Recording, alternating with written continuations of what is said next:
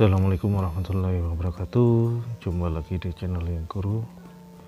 Dalam video kali ini kita berada di kediaman Mas Sindung di Desa Sumber Harum, Kecamatan Nendar, Kabupaten Bojonegoro. Dalam video kali ini kita akan melihat bagaimana kondisi kandang yang berada di luar rumah ya tepatnya di samping rumah atau bahasa Jawanya di tritisan rumah ya.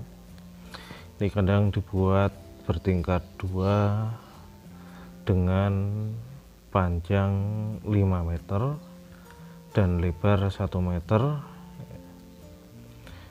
jadi kandang ini dibuat rapat untuk yang sisi dalam ini langsung menggunakan tembok dinding rumah ya rumah belakang dan untuk yang depan menggunakan triplek ya.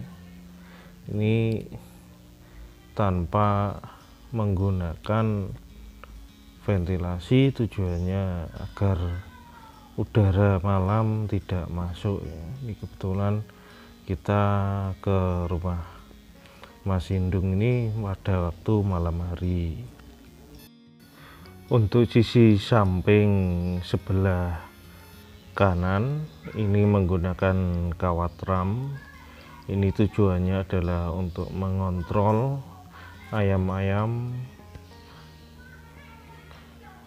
Dan untuk sebelah kiri ini langsung berdinding tembok juga. Ini kalau kita lihat penampakan dari luar ini sedikit sekali cahaya yang terlihat dari luar ini menandakan kalau kandang ini benar-benar rapat ya. karena cuaca di wilayah Masindung ini ketika malang menjelang pagi hari ini cuacanya sangat dingin sekali sehingga jika ada sedikit lubang saja itu bisa menambah dinginnya jadi dinginnya bisa masuk ke dalam kandang ini untuk tiap kandang ya ini menggunakan enam buah lampu ya. jadi kalau tingkat dua ini menggunakan 12 lampu ya untuk lima lampu pijar untuk masing-masing tingkat ini tujuannya untuk sebagai penghangat kemudian ada lampu yang fungsinya untuk penerangan ya. jadi lampu LED untuk penerangan untuk alasnya menggunakan banner bekas ya sehingga kotoran yang ada di atas ini tidak jatuh ke bawah ya tidak mengenai DOC yang ada di bawah ya. ini menggunakan banner kemudian menggunakan pakan kering sehingga kotorannya juga tidak begitu terlalu basah ya.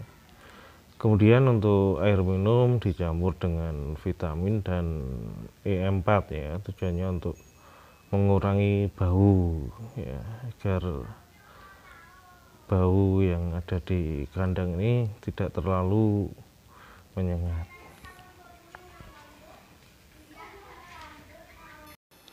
untuk kapasitas kandang dengan ukuran 5 kali 1 ini masing-masing tingkat ini mampu menampung 300 ekor ayam sehingga total ada 600 ekor ayam.